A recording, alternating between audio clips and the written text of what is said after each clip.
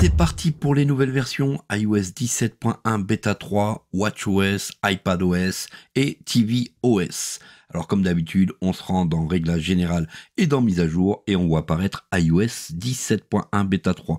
Alors quel correctif La batterie, on a plusieurs pistes sur cette version, on en parle dans cette vidéo. Des nouveautés côté du bouton action sur l'iPhone 15. Alors surtout si vous aimez ce genre de vidéo, n'hésitez surtout pas à vous abonner.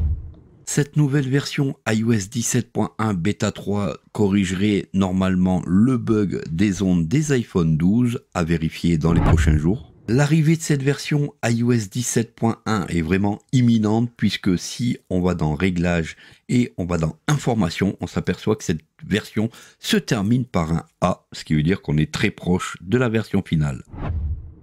Cette première nouveauté iOS 17.1 bêta 3 va concerner donc l'iPhone 15 et le bouton action avec le capteur de proximité, c'est-à-dire que si vous avez paramétré sur votre bouton action sur votre iPhone 15 Pro, 15 Pro Max, la possibilité de allumer par exemple la lampe torche, la loupe, l'appareil photo, eh bien ce sont des applications énergivores qui pouvaient s'allumer par inadvertance dans votre poche ou dans votre sac à main. Alors cette mise à jour iOS 17.1 sur ce bouton action permettra d'éviter que si vous avez paramétré ces fonctions, elles ne s'allumeront pas grâce au capteur de proximité. Ça c'est plutôt une bonne nouvelle pour la batterie de notre iPhone. Si vous désirez tester cette nouvelle version iOS 17.1, eh bien, sachez qu'elle est sortie en version publique et en version développeur, mais attention, en version bêta. Vous êtes vraiment super nombreux à regarder mes vidéos, mais pas assez à vous abonner. Donc pour me soutenir, abonnez-vous, partagez, mettez en favori un petit cœur, un petit commentaire. Ça soutient la chaîne énormément. Merci à vous. Cette version iOS 17.1 bêta 3 corrige un bug dans Wallet, dans Carte. En fait, l'application pouvait planter lors du lancement en bêta 2. Il faudra installer la bêta 3 pour pouvoir utiliser Carte.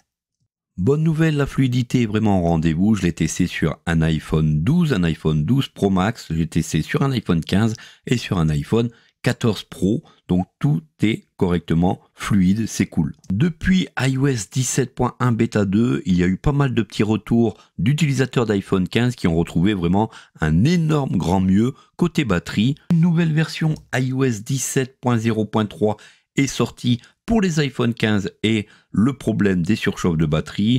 Il semblerait que le problème ait été résolu, mais il y a encore quelques personnes qui rencontrent ce genre de surchauffe. Dis-moi en commentaire si tu rencontres ce genre de problème.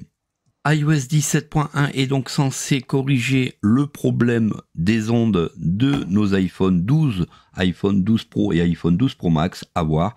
Voilà ce qu'on pouvait dire sur cette version iOS 17.1 bêta 3 sur les dernières nouveautés. Si cette vidéo t'a plu, abonne-toi, partage et à très vite pour des prochaines astuces iPhone.